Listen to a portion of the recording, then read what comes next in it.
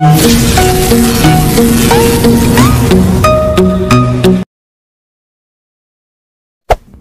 there. Subscribe to my channel. And also press this bell icon. to my channel with another new video you are watching general science with Shyam आज अपने एक object type question paper का अध्ययन करेंगे और ये student के recommend पे बनाया गया है कि जनरल साइंस के सर टॉपिक हैं, वो हमें पढ़ाइए। तो मैं कंटिन्यू बायोलॉजी के जो भी टॉपिक होंगे एपिसोड होंगे, उसमें मैं बीच बीच में कंटिन्यू जितने भी टॉपिक हैं एस एस सी का है कम्पिटिटिव एग्ज़ाम जितने भी हैं, पटवार परीक्षा है, उनको मद्देनज़र रखते हुए ये मैं पूरे पूरे ये एपिसोड बनाऊँगा। तो उसके नोटिफिकेशन को अपने जानने के लिए आप मेरे चैनल को सब्सक्राइब कीजिए, ताकि आपको नोटिफिकेशन मिलता रहे।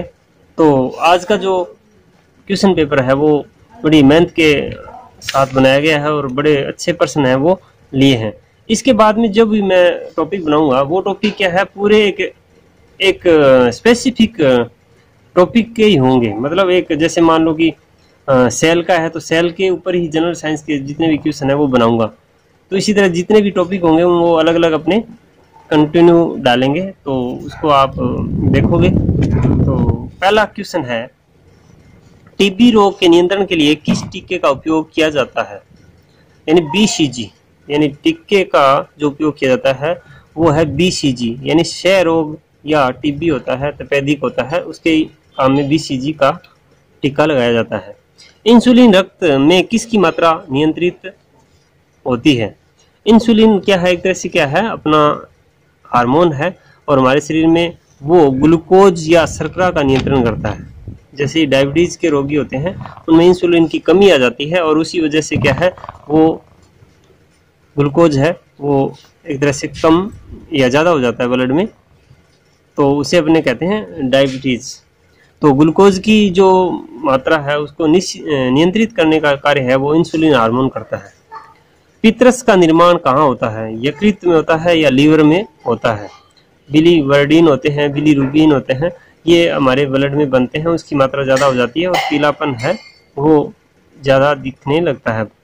इसलिए आँखें हैं या जो नाखून है, उनमें भी ये दिखाई देने लगता है, पीलिया के अंदर ये बढ़ जाते हैं। इसके बाद है शुष्क बैटरी, सेल में किस प्रकार की ऊर्जा का संग्रह होता है? ये अपने रासायनिक ऊर्जा का उपयोग एक तरह से रासायनिक ऊर्जा के रूप में संचय होता है या संग्रहित होती है। ये केमिस्ट्री का क्वेश्चन है। और जूल किस भौतिक राशि का मात्रक है? यानी कार्य का। ये फिजिक्स का प्रश्न है।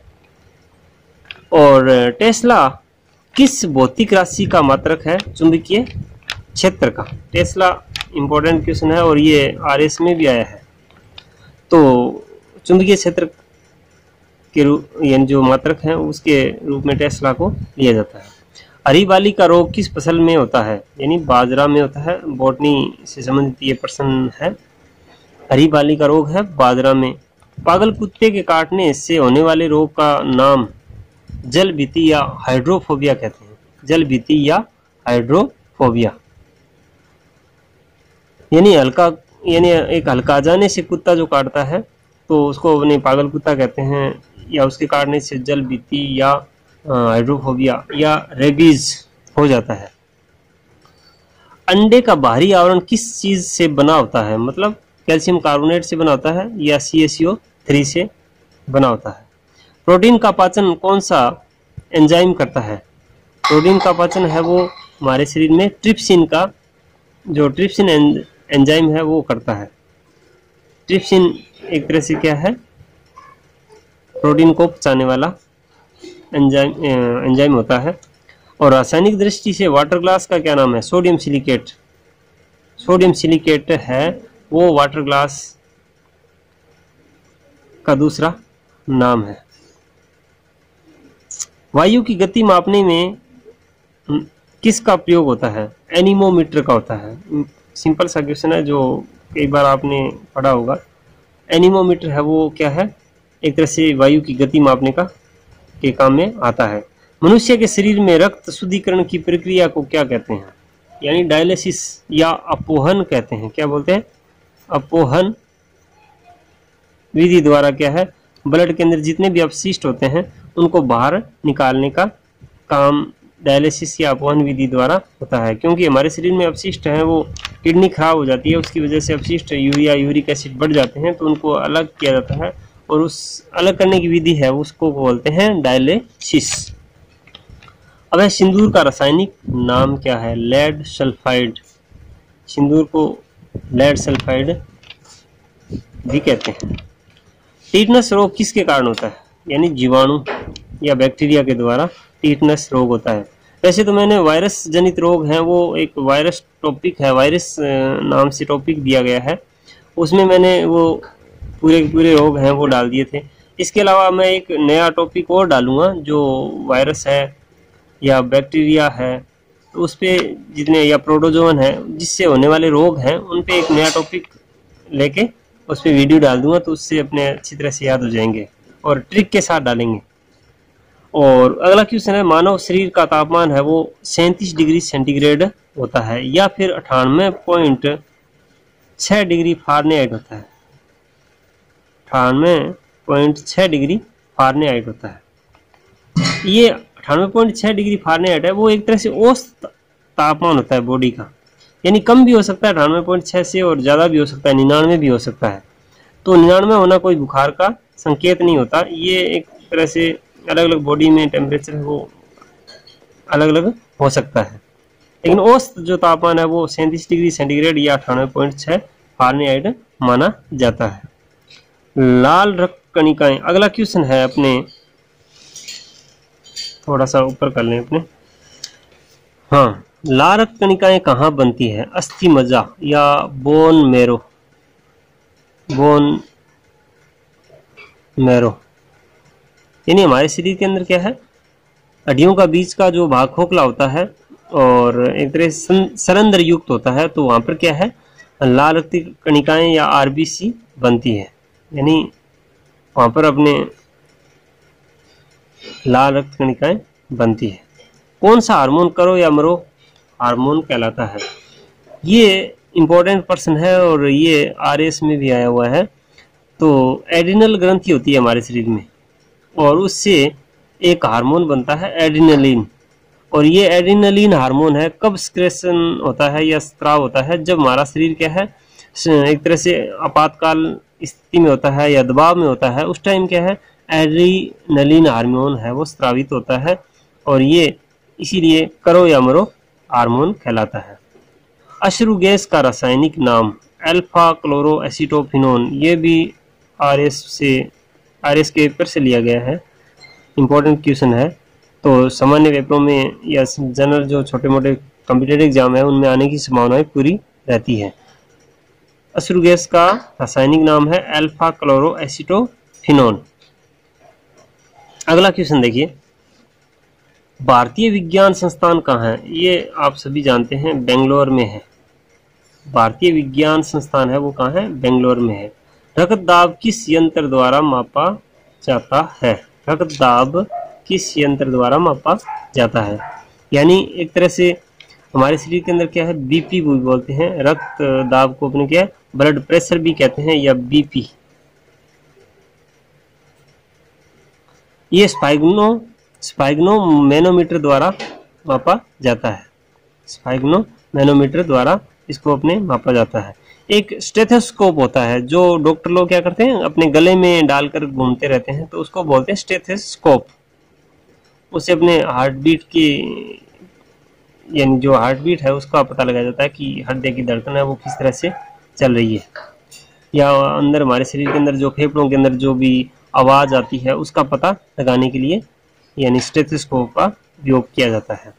अब है, अगला क्वेश्चन बीसीजी का टीका किस रोग के उपचार के लिए लगाते हैं?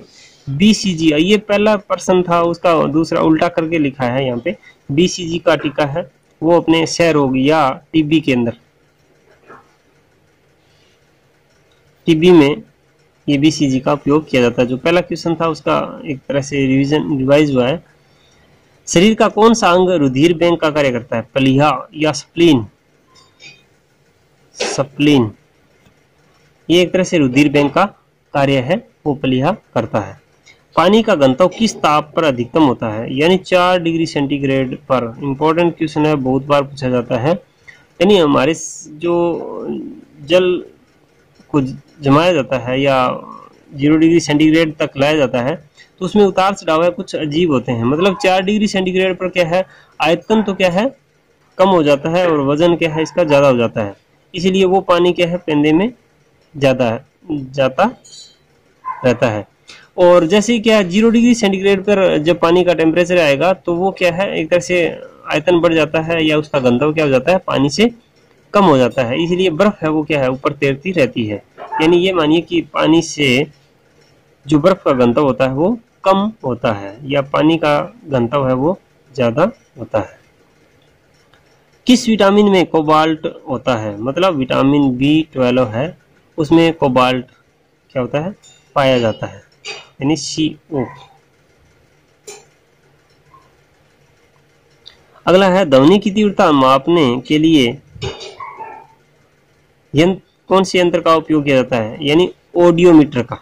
मतलब ऑडियोमीटर है, वो ध्वनि की तीव्रता मापने का काम करता है। ये इस तरह से ये क्वेश्चन है और आगे अपने अगले क्वेश्चन और भी हैं। तो उसके बारे में मैं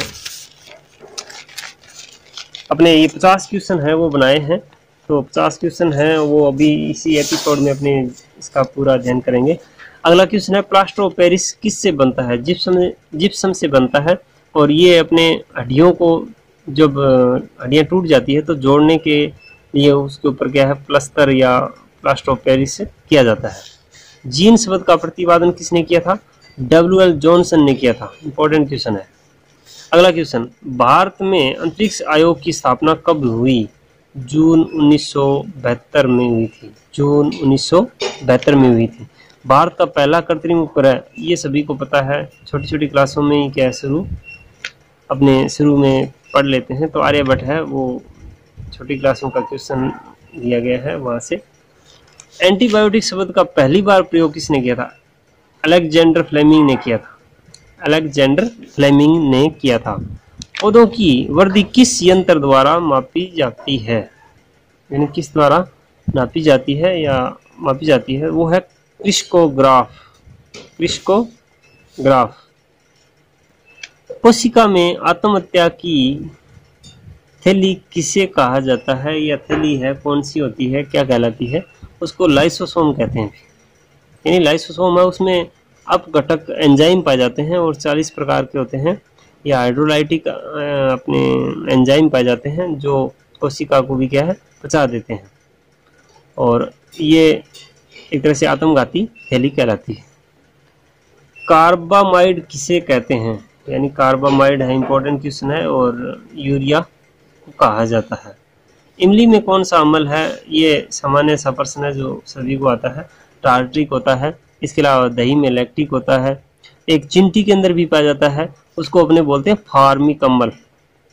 कौन सा होता है? फार्मिक सेव के अंदर ऑक्जेलिक एसिड पाया जाता है। ठीक है? इससे अगला क्वेश्चन देखिए, नागासाकी पर गिराए गए बम में किस तत्व का प्रयोग किया गया था? इंपॉर्टेंट है। प्लूटोनियम। प्लूटोनियम। किसका किया था? प्लूटोनियम का। अनुवांशिक गुणों के वाहक कौन होते हैं? अनुवांशिक गुणों के वाहक कौन होते हैं? मतलब इंपॉर्टेंट है, क्रोमोसोम या जीन होते हैं। क्या होते हैं? क्रोमोसोम या जीन। मतलब एक तरह से आरएनए, डीएनए है, वो जीन या क्रोमोसोम से बने होते हैं या क्रोमोसोम में वो पाए जाते हैं। तो इसी तरह से क्रोमोसोम भी हो सकता है, जीन भी हो सकता है, डीएनए, आरएनए भी हो सकते हैं। यानी डीएनए की इम्पोर्टेंस होती है इसमें। कई जो जीव होते हैं, सूक्ष्म तो उनमें आरएनए भी क्या है? आनुवंशिक पदार्थ के रूप में पाया जाता है, जैसे जीवाणुओं के अंदर। शरीर में ऑक्सीजन की पूर्ति किसके माध्यम से होती है? आरबीसी यानी रेड ब्लड कार्पल्स होती है, या आरबीसी भी कहते हैं, लाल कणिकाएँ भी कहते हैं, क्योंकि उनमें वो हीमोग्लोबिन पाया जाता है। क्या पाया जाता है? हीमोग्लोबिन हीमोग्लोबिन पाया जाता है, और वो ऑक्सीजन के साथ में ऑक्सीमोग्लोबिन बनाता है, और पूरे ब्लड के अंदर क्या है, वो बॉडी में पहुंचाता है ब्लड के साथ में। चेचक के टीके की खोज किसने की थी? जेनर ने की थी। ये भी छोटी क्लासों में अपने पढ़ लेते हैं। इंसुलिन की खोज किसने की थी? बेंटिंग ने की थी। इंसुलिन यानी एक तरह से क्या है, हमने पहले भी पढ़ लिया था, यानी एक तरह से मधुमेह रोग के अंदर जो हार्मोन है, वो काम में आता है, या ब्लड को, ये सॉरी शर्करा को क्या है, नियंत्रित करता है। प्रोटीन किस से बनते हैं? एमिनो अम्ल से बनते हैं। प्रोटीनों का जो बहुलक होता है, वो किसका होता है? एमिनो अम्लों का होता है। फलों को पकाने के लिए किस गैस का प्रयोग किया जाता है? ये एथिलीन है, जो गैस के द्वारा या जल्दी पकाने में काम आती है। मूत्र का पीला रंग किसके कारण होता है? यूरोक्रोम के द्वारा होता है। किसके द्वारा होता है? यूरोक्रोम के कारण। रक्त का थक्का किस रोग में नहीं जमता? मतलब हमारे शरीर के अंदर जो ब्लड होता है, उसकी एक सामान्य प्रक्रिया होती है ब्लड क्लोटिंग होना। लेकिन ऐसे भी कई रोगी होते हैं जो जन्मजात, उनको ये मिलता है रोग, वो होता है हीमोफीलिया इसमें क्या ब्लड का थक्का नहीं बनता है? अगर थोड़ी सी खरोंच लग जाती है तो ब्लड क्या लगातार बहता रहता है और ये बड़ी भयानक स्थिति होती है। ये अगर महिलाओं के अंदर होती है तो महिलाएँ मतलब जो लड़की होती है उसके लिए बड़ी एक इमोशन है या भाव ऐसा है कि वो जैसे मैंस्ट्रुअल साइकिल शुरू होता है। मैंस्ट्रुअल साइकिल जैसे एमसी शुरू होती है तो वो बंद नहीं हो पाती है और उसकी डेथ भी हो सकती है। तो ये इमोफीलिया के अंदर होता है। मतलब ब्लड का थक्का है वो नहीं जमता है। टमाटर का रंग पकने पर लाल क्यों हो जाता है? उसमें कौन सा वर्णक पाया जाता है? वो होता है लाइकोपिन कौन सा? लाइकोपिन सर्वप्रथम गर्भाधान भारत में कब प्रारंभ किया गया? इंपॉर्टेंट क्वेश्चन है। 1942 में किया गया। हेमेटाइट किसका? ऐसक है। आयरन का है। कई बार पूछा गया पेपरों में। और इसके बाद में अपने थोड़ा सा ये प्रश्न देख लीजिए। टमाटर का रंग पकने पर लाल क्यों जाता है? लाइकोपिन हो जाता है। लाइकोपिन वर्णक से होता है। और सर्वप्रथम गर्भाधान भारत के अंदर कब प्रारंभ किया 1942 में किया गया था। हेमेटाइट किसका ऐसक है? आयरन का है, यानी लोहे का है। सूर्य से ऊर्जा का निर्माण किस प्रक्रिया के कारण होता है? इंपॉर्टेंट क्वेश्चन है। नाभिकीय सैलियन एक दूसरा अपने हाइड्रो एक तरह से जो परमाणु बम होते हैं, उसमें क्या होता है? नाभिकीय श्रृंखला अभिक्रिया होती है।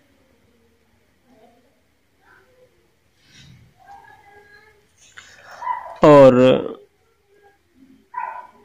पौधों के किस भाग से हल्दी प्राप्त होती है?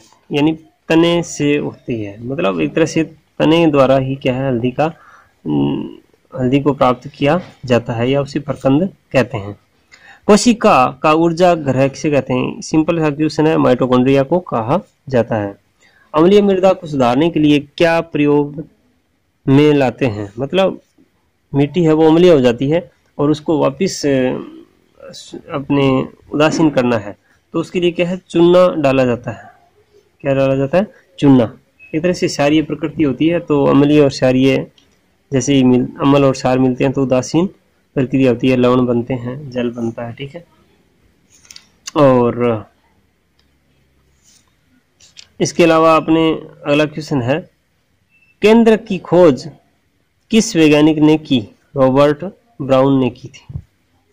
ये भी सिंपल सा क्वेश्चन है। रेबीज नामक रोग में मनुष्य का कौन सा तंत्र प्रभावित होता है? मतलब ये पहले भी प्रश्न रेबीज से संबंधित आ गया था, हल्के कुत्ते के काटने से होता है, और इसमें तंत्रिका तंत्र है, वो क्या है? प्रभावित होता है।